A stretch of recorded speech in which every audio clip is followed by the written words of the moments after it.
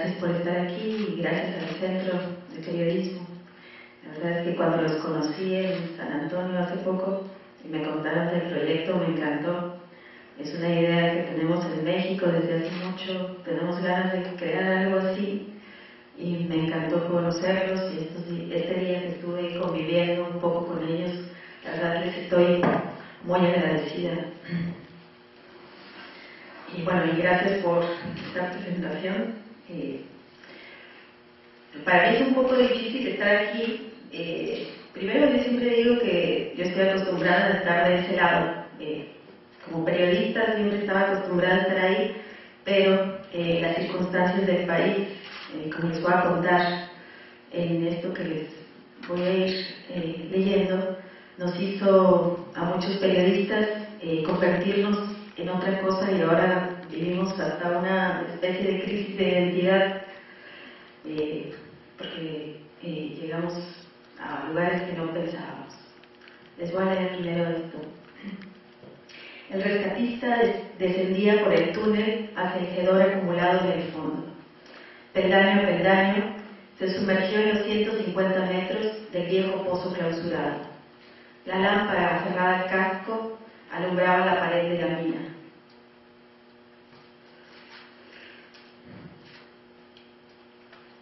Delineaba siluetas suspendidas en el vacío, trabadas en las vigas y rocas con tallones de sangre. Al fondo del viejo respiradero, en vez de piso, encontró un charco de agua estancada del que emergía una montaña formada por bultos parecidos a lomos de cerdos, pero eran personas, una pila de restos humanos. Sus rostros estaban firmados por el rictus de la angustia, todos con la marca registrada del crimen organizado. Así comencé mi libro Fuego Cruzado, las víctimas atrapadas en la guerra de narco, que escribí en 2010, movida por la urgencia de contar y dejar constancia de lo que ocurría y lo que sigue ocurriendo en mi país. Fue también mi manera de revelarme a que los violentos acapararan siempre los espacios de los medios de comunicación y a que las víctimas quedaran en las sombras, invisibles. En el libro retomé las asignaciones de dos, tres años eh, de coberturas periodísticas, principalmente en el norte del país, en las que reporté sobre las regiones impactadas por la violencia y en las que me propuse no quedarme en la mera crónica del horror, sino ponerle alma a lo desalmado ponerle nombre y rostro a los afectados por la narcoviolencia, documentar lo que vivieron después de que los camarógrafos apagaron sus luces y volvieron a sus casas, después de que dejaron de ser noticias. Y lo que trataba era de esbozar lo que ocurre puertas adentro de los hogares enlutecidos, en lo íntimo de las familias, con corazones rotos. Las afectaciones que no se ven, de las que la prensa no habla, pero que las comunidades cargan encima después de que ocurrió una masacre o después de que alguien fue asesinado en la calle eh, frente a todos. Hasta el año 2007 yo había sido una reportera normal. Eh, yo cubría temas relacionados con la pobreza, pero el país eh, nos cambió, me cambió a mí, cambió a muchos a partir de 2006, cuando el presidente Felipe Calderón lanzó su guerra contra el narcotráfico, le declaró la guerra y envió a los militares y a policías federales a las calles a combatir con los delincuentes eh, que se encontraran en cualquier lugar. Y así que, los combates se sucedían en cualquier calle, a cualquier hora del día. Y también eh, esta guerra propició que salieran a la calle todas las personas que estaban armados y que se pelearan eh, cárteles contra cárteles hizo que se desatara tanta violencia que al final ese periodo de gobierno fue llamado el sexenio de los muertos. Se calcula que más de 100.000 personas fueron asesinadas y de esos hay un número oficial, pero nunca confiamos ya en las estadísticas, de que 70.000 fueron los asesinados por asuntos relacionados con el narcotráfico. También tenemos un grave problema, una crisis humanitaria eh, de al menos 27.000 personas desaparecidas en estos últimos años y entre 300.000 a un millón de desplazados se calcula. No sabemos el número de huérfanos, de viudas, de heridos. Y así como el tifón de la violencia nos sorprendió a todos los mexicanos, a los periodistas nos encontró impreparados, pasmados y desconocedores de estos nuevos códigos de sangre. Eh, conforme fue pasando el sexenio, llegó un momento en que la pila de cadáveres se volvió infinita, en que cada matazón superaba al anterior, en que seis noticias terribles competían por la primera plana. Un día unas personas quemaron un casino con más de 50 personas adentro, otro día asesinaron con tiros de gracia en fila a 72 migrantes. En otro momento, eh, alguien aventó una granada sobre la gente que estaba reunida en una plaza celebrando la fiesta nacional de la independencia, o un comando armado entraba a una fiesta de quinceañeros para exterminarlos a todos. Eh, fueron momentos eh, que se siguen ocurriendo que de repente llegaba a, cubrir alguna manifestación o eh, recuerdo que cuando cubrí que una organización me invitó a cubrir una reunión que iba a tener con víctimas de la violencia, yo no sabía bien a qué, a qué iba y de repente entré y los organizadores dijeron, bueno, aquí hay una periodista, quien quiera eh, puede platicar con ella y se pararon 40 mujeres con las fotos de sus hijos y las 40 hicieron fila porque querían contarme las historias de sus hijos desaparecidos. Esa noche me acuerdo que fue una de las más largas y de, mayor impotencia. La cobertura eh, fue cambiando, eh, llegó un momento en que la anécdota individual se agotó, no podíamos hablar de todos los casos, teníamos que hablar de estos colectivos, teníamos que hablar de esto como un fenómeno social, hablar de el juvenicidio, ¿no? hablar de los miles de desaparecidos. Y esto nos obligó a construir de manera distinta los relatos, a, a, contarlos, a darles otra dimensión, porque también tanto asesinado, tanto desaparecido, tanto desplazado, llegó a incomodar a las conciencias y mucha gente nos decía que prefería apagar la televisión y no ver lo que estaba ocurriendo, que era demasiado horror, eh, que, que que qué malas noticias dábamos, que si podíamos ver algo bonito ¿no? en la vida. En las presentaciones de mi libro, por ejemplo, me preguntaban mucho si no necesitaba un psicólogo para ver las cosas bellas de la vida, que por qué tenía que hablar de las víctimas, que por qué tenía que contar lo feo. Y en ese momento compartí un poco de la soledad que enfrentan las víctimas. Eh, descubrir que entre tanto dolor la gente se blinda y deja de escuchar y te pone el reto de que tienes que ingeniártelas, tienes que buscar recursos narrativos, tienes que buscar cómo hacer eh, para que la gente siga queriendo enterarse. Así, eh, a veces cuando cuento esto, mucha gente piensa que somos muy insensibles los periodistas, pero es parte de esta dinámica que se va dando en las redacciones.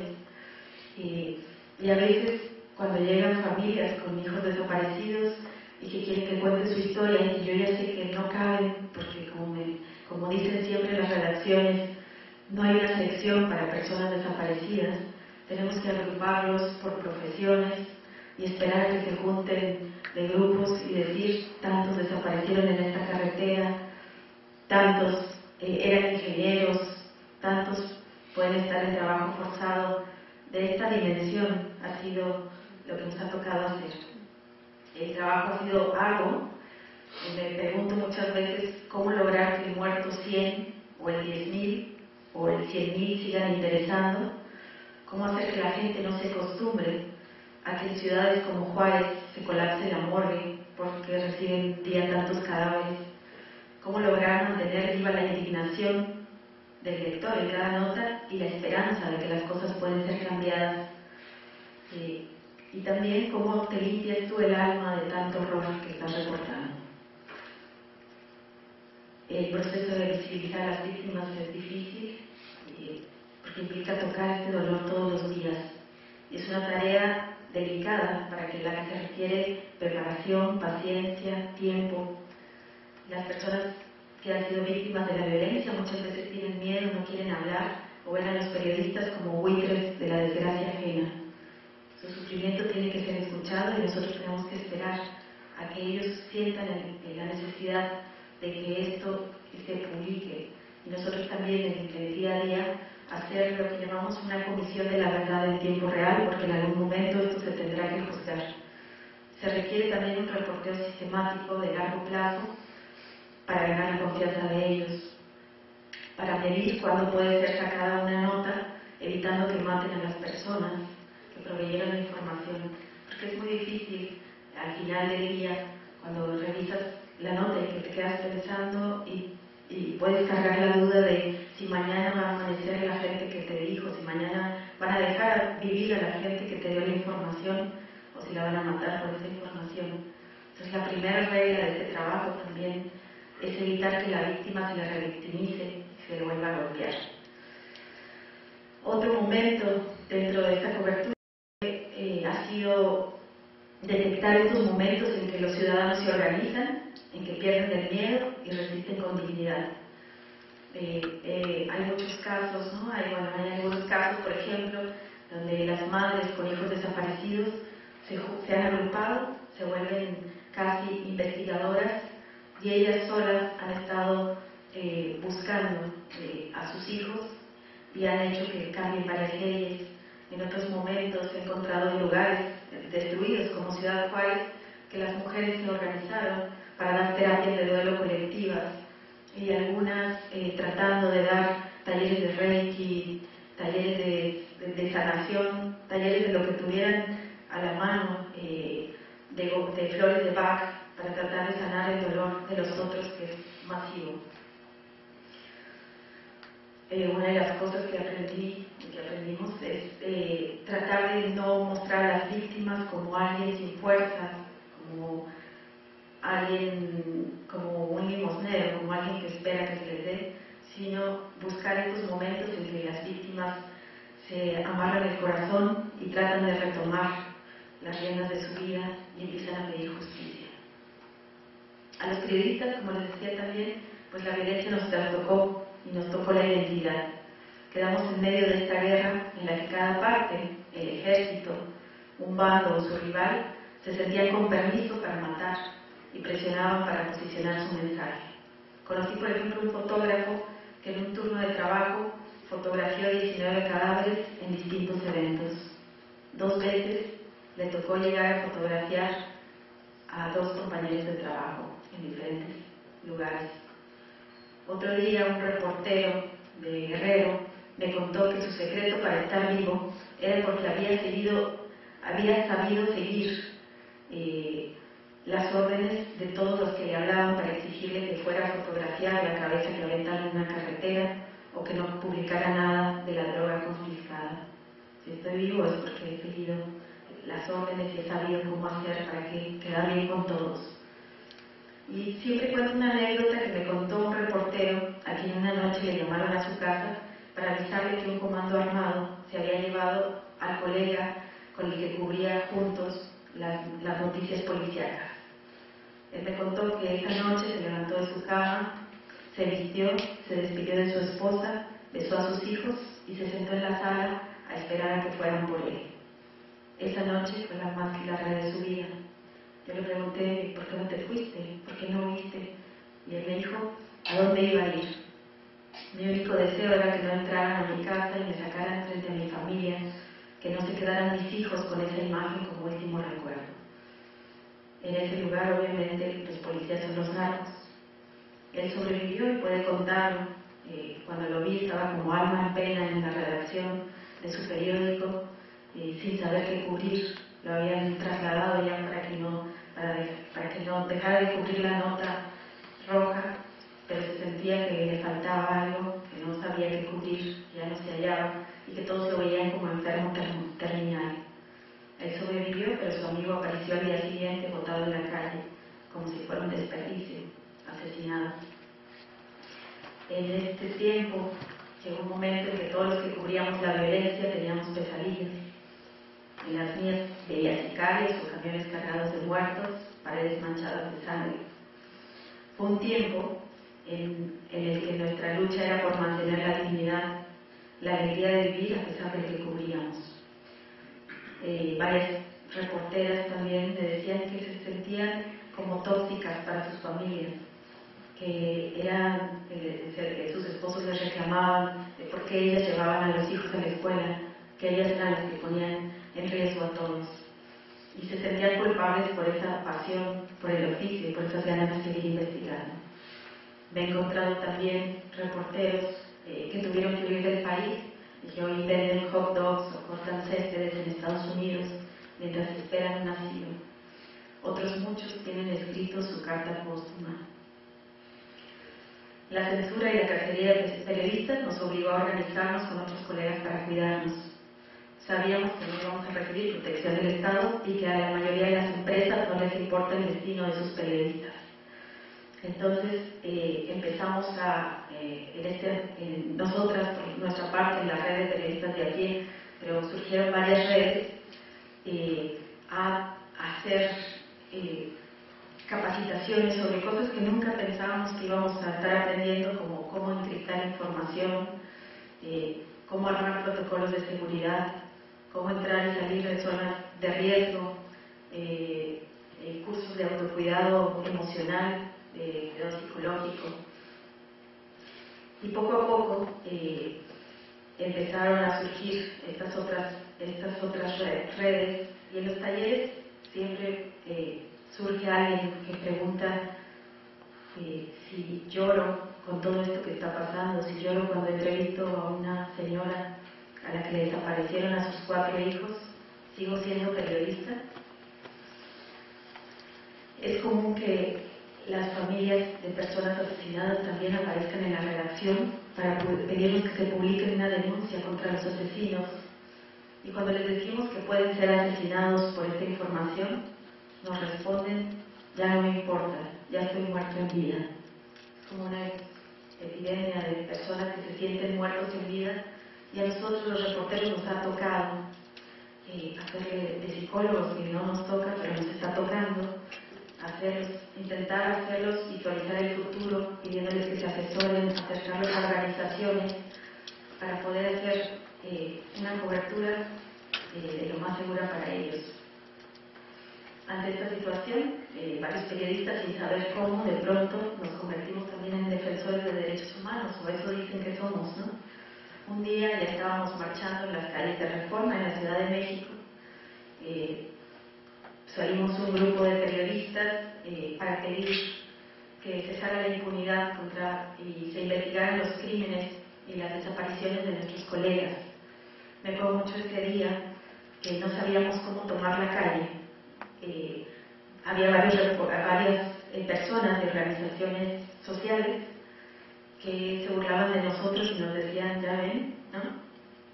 ustedes siempre reportean y siempre les acompañan y vean lo feo que se siente bloquear una calle. Entonces tuvieron que ir otros eh, con la manta que encabezaba esa manifestación y en el camino pasó algo muy curioso que íbamos cargando estas pancartas pidiendo eh, la investigación por varias de, los, de las fotos que llevábamos en las manos. Y entonces me tocaba a mí eh, acercarme a otro que iba marchando y le decía, oye, me detienes esto, te quiero entrevistar. ¿no? Y este, a su vez, cuando yo terminaba la entrevista, me decía, ahora tú deténme, yo te quiero, yo te quiero entrevistar a ti.